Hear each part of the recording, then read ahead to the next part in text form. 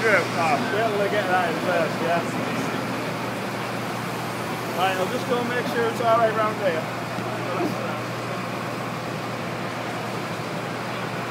Roger.